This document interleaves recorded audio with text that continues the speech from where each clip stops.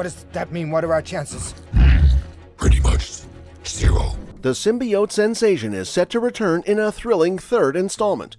After months of eager anticipation and a tantalizing mid-credit scene in Spider-Man No Way Home, Tom Hardy's Eddie Brock and Venom are making a triumphant comeback in Venom 3. So, let's delve into the web of information and uncover everything we know about the upcoming Venom 3. After a long silence and almost a year since we first heard about it, Tom Hardy excitedly dropped some big news about Venom 3 on his Instagram. He told us that they're actively working on the sequel, and to make things even better, he gave us a taste of what's to come by sharing an old, previously unreleased scene from one of the earlier Venom movies.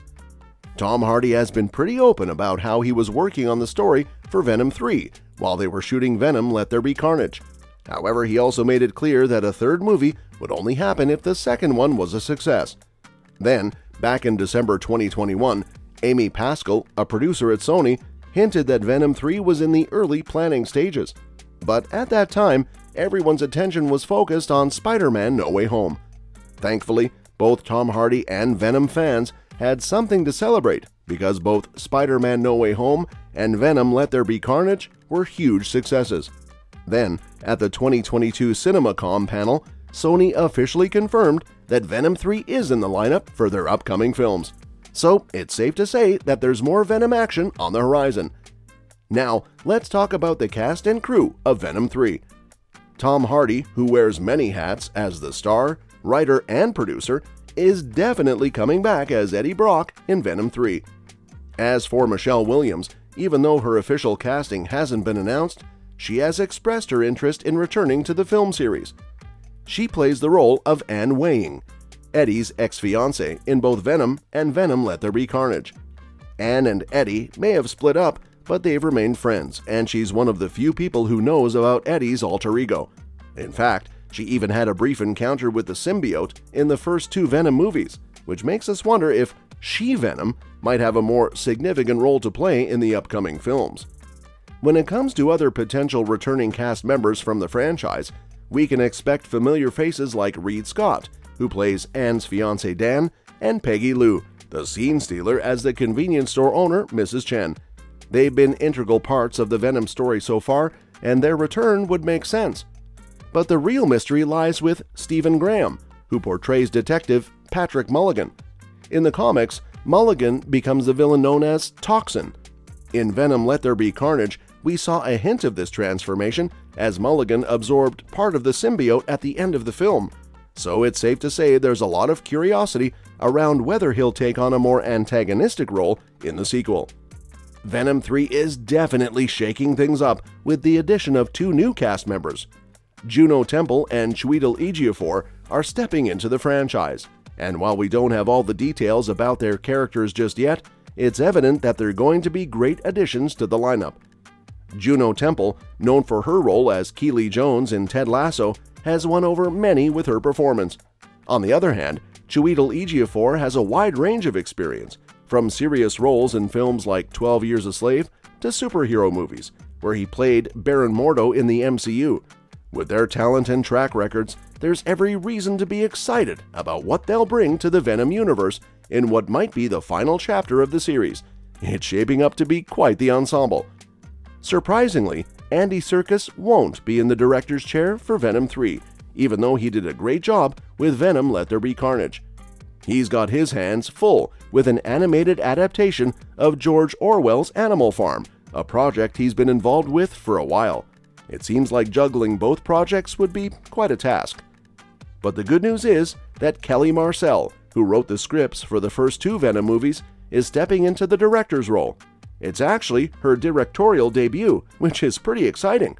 She's no stranger to the world of Venom, having penned the earlier films, so she's well equipped to ensure that Venom 3 carves its own path, while still honoring the established franchise. Change in direction, but still a promising one. Now, let's talk about what is going to happen in Venom 3. While we're still in the dark about the story specifics of Venom 3, there's been plenty of speculation. Some folks have taken cues from Spider Man No Way Home and the comics as potential sources of inspiration. One interesting tidbit is that Venom 3 has been referred to as the final chapter.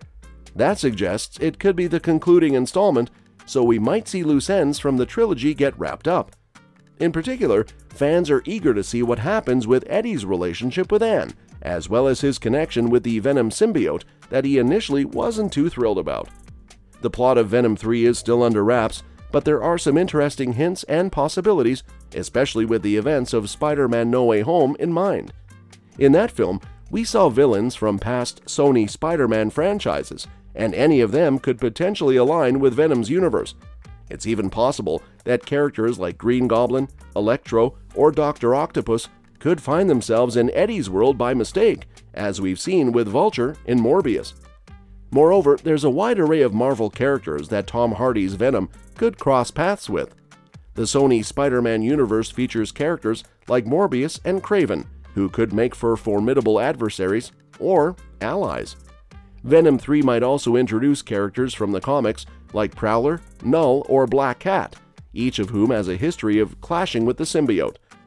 Recent hints about Venom 3 have stirred up even more intrigue, with Tom Hardy sharing an image from the movie set that shows him passionately reacting to graffiti of a dog or wolf. This image has sparked speculation that Eddie Brock might be facing off against the Lobo Cartel, a group of werewolves from Marvel Comics. On the other hand, there are also rumors circulating that Venom could be pitted against the Jury, a team of vigilantes wearing supersuits who come together to try to take down the symbiote. Alright, now let's dive into how Venom 3 can fit snugly into Sony's Spider Man universe. It's actually quite a smooth fit. The Spider Verse has been slowly unfolding, and you might recall the scene in Morbius after the credits, right? In that scene, the MCU's Vulture, played by Michael Keaton, finds himself in the Sony Spider Man universe. He even drops a hint about teaming up with Morbius, played by Jared Leto, which strongly suggests the possibility of the Sinister Six. You know, those baddies who love to tangle with Spider Man. Now, there's a chance we could see these characters pop up in Venom 3. Plus, we've got Kraven the Hunter coming into the mix with his own movie, and he could potentially join the Sinister Six lineup too. The burning question everyone's been asking is when are we going to see Venom 3 on the big giant screens? Well, after a lot of back and forth and uncertainty, we finally have the answer. Venom 3 is set to hit theaters on July 11, 2024. That's a date to mark on your calendar. Interestingly, this means that Kraven the Hunter will make its debut before Venom 3, and this might just be a sign of a more tightly woven Sony Spider Verse for Venom 3 to take full advantage of. And there you have it all the exciting details and speculations about Venom 3 Anti Venom. Do you think it will live up to the hype? And how do you envision it connecting to the larger Sony Spider Verse? Share your thoughts in the comments below, and don't forget to like and subscribe for more updates on this highly anticipated film. Until next time, keep those spidey senses tingling.